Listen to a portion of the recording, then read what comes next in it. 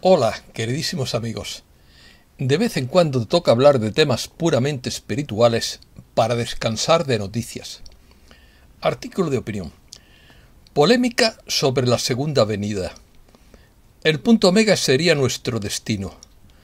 Volverá la buena gente según las profecías. Recuerda siempre llenar tu cáliz con amor. Charlie Watt dice que ha reencarnado Jesús. Muchos seres han afirmado que son el Mesías. Acuario trae la ley galáctica y la divulgación. Se está cumpliendo una profecía de los cátaros. El anhelo de Dios tiene el poder de transformación. Sananda brinda una guía de evacuación planetaria. Comenzamos. Según Charlie Watt, Jesús se habría reencarnado como un niño de seis años en Australia y planearía darse a conocer en diez años. ¿Qué planea hacer? Es la pregunta. Pero la Biblia dice que volvería como un hombre adulto. Lucas 21:7. Y entonces verán al Hijo del Hombre viniendo en una nube con poder y gran gloria. Cuesta mucho trabajo creer a don Carlos de Marbella en esta afirmación porque hemos escuchado relatos muchas veces sobre supuestas encarnaciones de Jesús. Hay una lista interminable de personajes notables que ya sea por ellos mismos o por sus seguidores, se han afirmado como la reencarnación de Jesús o la segunda venida de Cristo.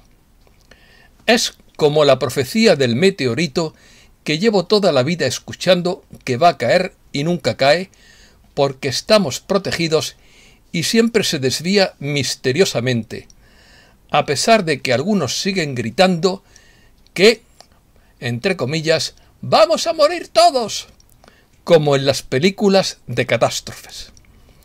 Una encuesta de 2010 mostró que alrededor del 40% de los estadounidenses cree que es probable que Jesús regrese para el año 2050. Esto varía del 58% de los cristianos evangélicos blancos, pasando por el 32% de los católicos y el 27% de los protestantes blancos principales. La creencia en la segunda venida fue popularizada a finales del siglo XIX por el evangelista Dwight Moody, y la interpretación premilenial se convirtió en uno de los componentes centrales del integrismo cristiano en la década de 1920. Interpretación mística. Paramahamsa Yogananda ofreció una interpretación mística de la segunda venida en la que se entiende como una experiencia interior, algo que tiene lugar dentro del corazón individual, Yogananda describió que la segunda venida sería la resurrección dentro de ti de la conciencia crística infinita. También se afirma en el libro de Lucas, entre comillas, ni dirán mira aquí o mira allá, porque aquí el reino de Dios está dentro de vosotros. Lucas 17, 21.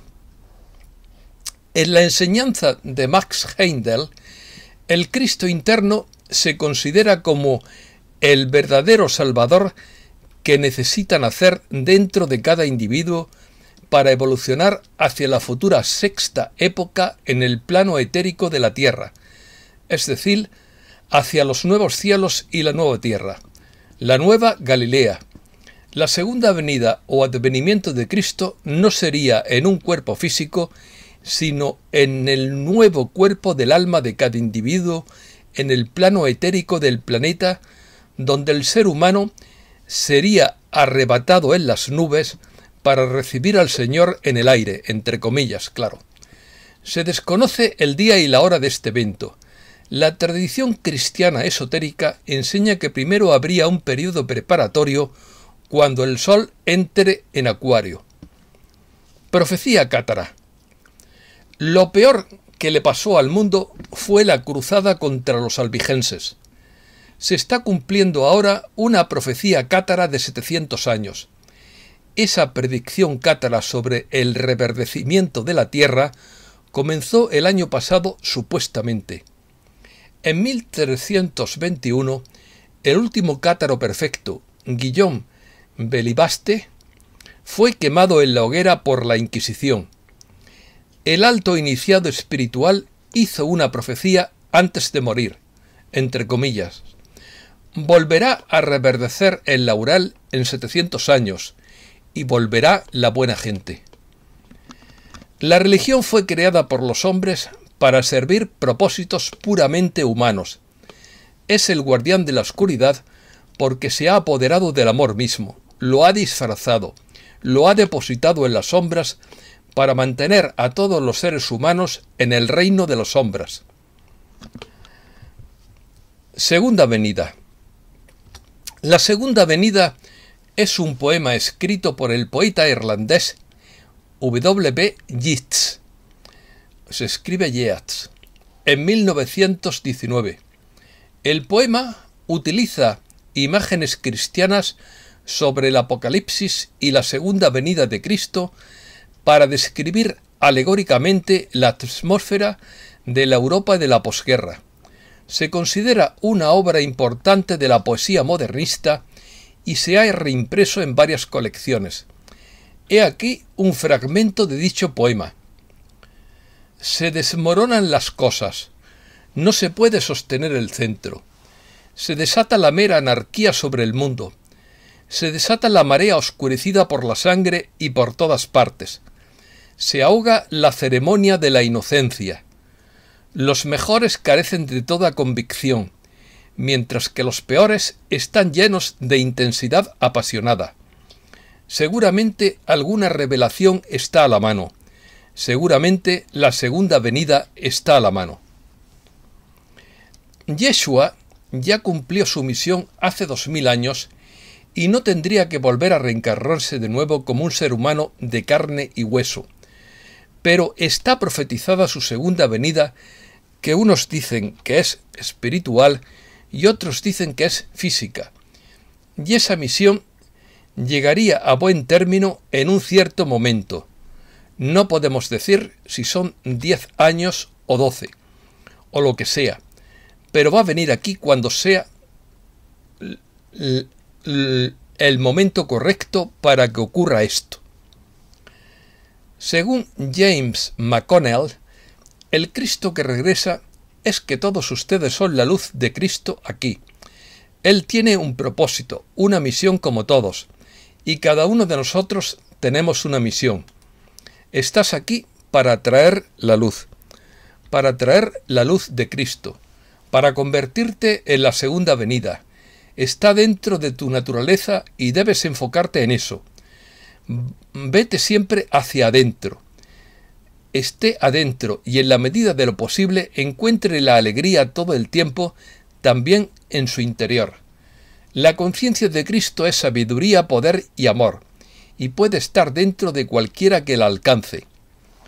La segunda venida cumpliría la profecía bíblica de Elías según James E. Charles. Como fue profetizado, Jesús regresaría y Elías lo guiaría. En el libro de las revelaciones se dice que Elías regresaría por una razón, y esta razón es que él será el camino para que Jesús regrese. Elías también será el camino para lo que Dios quiere para su pueblo y su mundo. Todas las religiones forman parte de Dios, y esto es lo que Elías está aquí para anunciar. Las cosas van a cambiar para bien pero este cambio está por llegar. Es muy importante mantener la negatividad alejada de ti y dentro de ti. Mantén tus pensamientos positivos. Perdónate por las cosas que has hecho y perdónate por los tiempos que han pasado. Es hora de que te eleves por encima de ello. Es hora de que te hagas consciente de toda la positividad que debe suceder en el mundo y es hora de que hagas una acción positiva en el mundo. A veces el cambio puede ser personal, repentino e imprevisible. Un hombre que visitaba la cabaña familiar en las montañas de Pocono de Pensilvania, se encontró una noche con una esfera azul. Desde entonces ha habido cambios físicos y emocionales. Opiniones. James McConnell cree que Cristo Miguel se reencarnaría alrededor de 2040 o 2060 cuando la nueva Tierra surja del Pacífico con el regreso del continente perdido Mu o Lemuria. Una forma de notar la diferencia de una dimensión menor como la cuarta es que la quinta dimensión en la quinta dimensión no son parlanchines. Van al grano nada más, porque no hay ego. El ego es el parlachín. El yo interior no va al grano. Nada más, nada menos. Si alguien quiere saber la verdadera razón del regreso, es porque se supone que debe traer el lenguaje de la quinta dimensión, que está todo en símbolos, letras y números.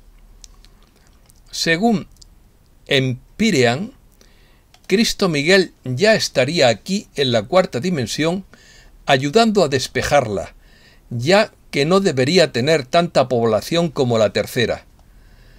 La cuarta dimensión hacia abajo se considera el inframundo galáctico.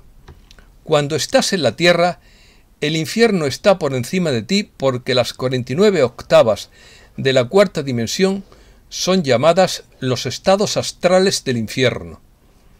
Según Enoch, la mayoría de la gente ni siquiera sabría cuándo regresaría el Hijo del Hombre.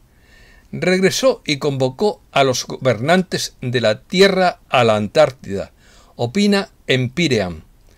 Capítulo 62.3, entre comillas.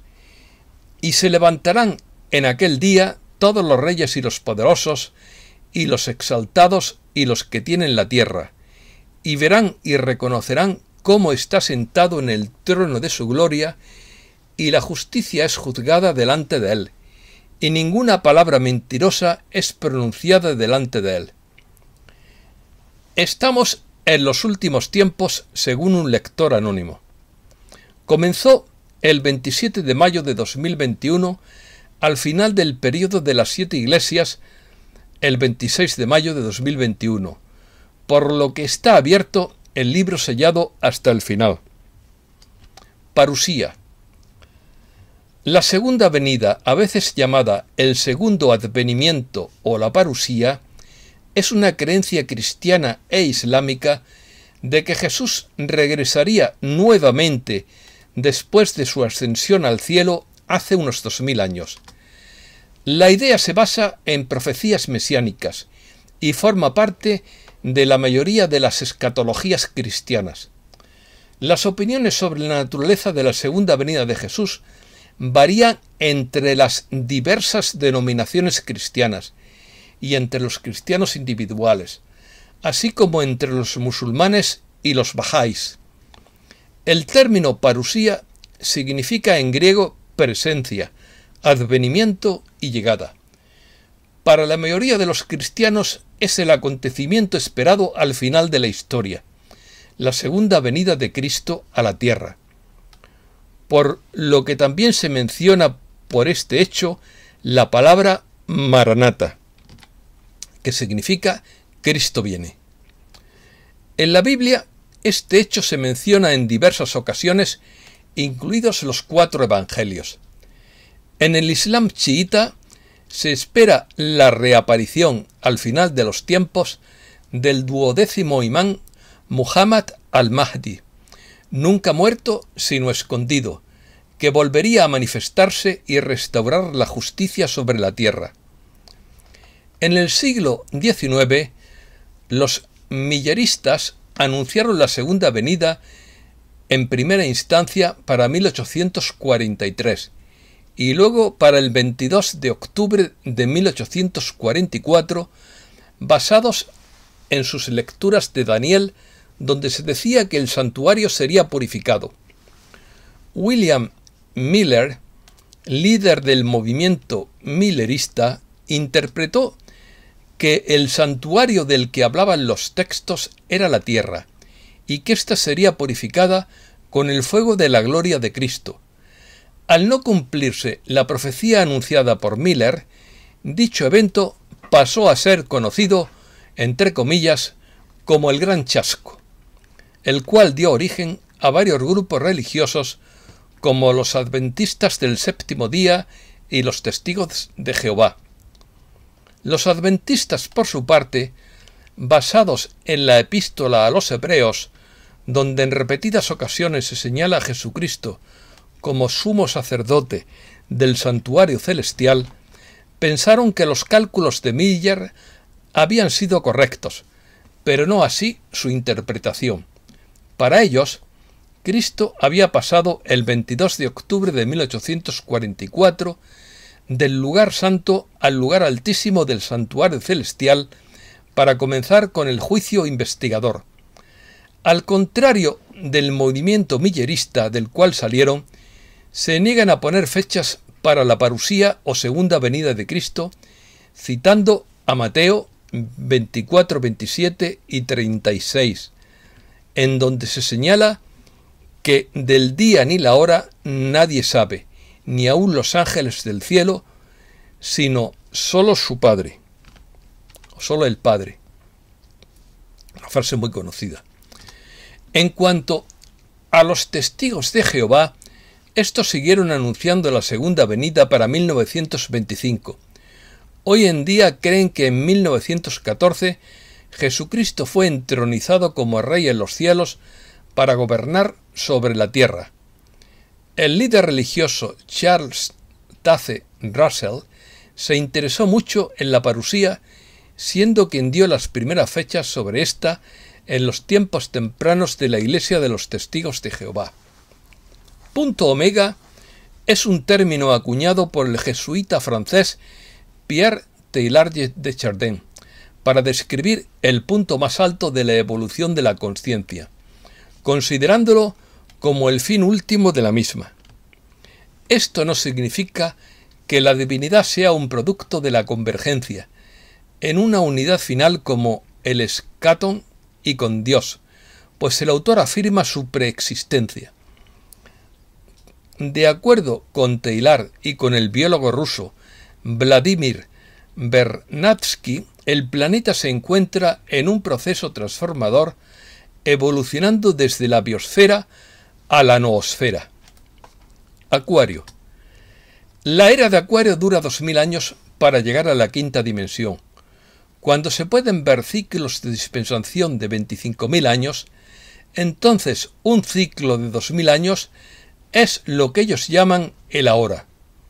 Leo es la ley solar. Acuario trae la ley galáctica y un conocimiento masivo. El Cristo de la era de Acuario tiene que ver con la conciencia crística para todos el Cristo de Nazaret era el que caminaba dando enseñanzas.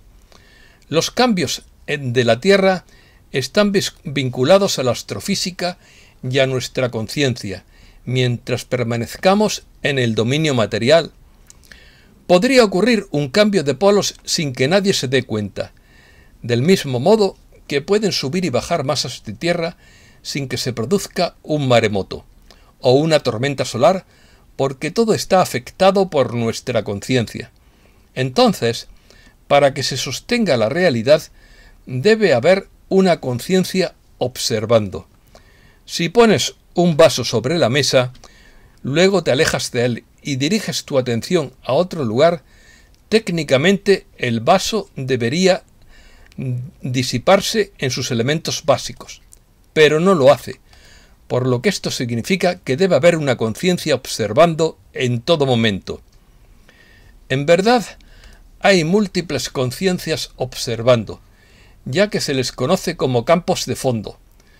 La física cuántica apenas ha tocado la superficie de los campos de fondo. El 99% de la ciencia analiza el resultado final y no tiene en cuenta las reacciones y los efectos en los campos de fondo para llegar al resultado final. Tierra interna. El enigma de la Tierra interna. Como arriba, así es abajo. Hay más en este planeta de lo que se cuenta, y el misterioso gobierno mundial La Sombra hace todo lo posible para ocultarlo. El trono de la tierra interna está ubicado en medio de Agartha, en la ciudad Esmeralda, según Empirean. Entre comillas. El trono de la superficie de la Tierra es Hiperbórea, la montaña magnética gigante en el norte, hacia donde apuntan todas las brújulas. El trono interior de la Tierra está ubicado en medio de Agartha, en la ciudad Esmeralda. Entonces, si alguna invocación iba a ocurrir, ahí es donde sería. La mayoría de los líderes mundiales que eran malvados fueron a la Antártida en un intento de escapar, ya que eso no funcionó. Fue negociar, porque es Armagedón, que significa limpieza y revelación. Una interpretación irlandesa de la Atlántida se encuentra en los viajes de Ocorra y Bran, del siglo IX, entre comillas. Tenía un muro de cobre alrededor. En el centro se levantaba un palacio del que salía una hermosa doncella que calzaba sandalias de findrina en los pies, una chaqueta dorada cubierta de metal brillante y teñido, sujeta al cuello con un broche de oro puro. En una mano sostenía una jarra de cobre y en la otra una copa de plata. Cierra comillas. Platón retrató a los atlantes como mineros ricos que sobresalían en la excavación de cobre y oro. La findrina mencionada aquí parece ser su oricalco, una aleación de cobre y oro que afirmó que era un producto exclusivo de la Atlántida. En la mitología griega, Hiperbórea era una región situada en las tierras septentrionales aún desconocidas al norte de Tracia. Su nombre en griego significa más allá del norte y se deriva precisamente de que se creía que el dios del viento Bóreas habitaba en Tracia, y los hiperbóreos, sus hijos, lo harían más al norte de este reino, en el país de Hiperbórea. Según el autor Jason Jeffrey, o Jason Jeffrey, Elena Blavatsky, René Guénon y Julio Sebola compartían la creencia en el hiperbóreo, los orígenes polares de la humanidad y su posterior materialización y devolución. Aunque lo escrito por Jeffrey puede contradecir algunos conceptos teosóficos escritos por Blavatsky misma, quien describe a los hiperbóreos como el origen de la segunda raza raíz, una clase de seres etéreos sin inteligencia que se reproducen asexualmente. Santucci menciona que en la doctrina teosófica las razas previas al ser humano moderno son vistas como inferiores y el paso de una a otra como un proceso de evolución y nunca de involución. Para Jeffrey, según estos esoteristas, Hiperbórea fue el centro polar de la civilización y la espiritualidad de la era dorada. La humanidad no se eleva del mono, sino que progresivamente evoluciona a la condición de simio a medida que se aleja física y espiritualmente de su mística patria sobrenatural en el lejano norte, sucumbiendo a las energías demoníacas del Polo Sur el mayor punto de materialización. Autores adscritos, esto es una opinión, claro, autores adscritos al esoterismo nazi relacionado con el Tercer Reich de Hitler, posteriormente postularon una teoría en la que Hiperbórea la consideraron un posible origen de la raza aria. La sociedad Anenerve se había dedicado a estudiar este tema y otros relacionados como las ciudades subterráneas. Robert Cherroux, o Cherroux, relacionó por primera vez a los hiperbóreos con una antigua raza de astronautas de personas supuestamente muy grandes y muy blancas que habían elegido la zona menos cálida de la Tierra porque correspondía más estrechamente a su propio clima en el planeta del que procedían. Miguel Serrano, fue influenciado por los escritos de Charroux sobre los hiperbóreos. Esto es todo y muchísimas gracias, queridísimos amigos.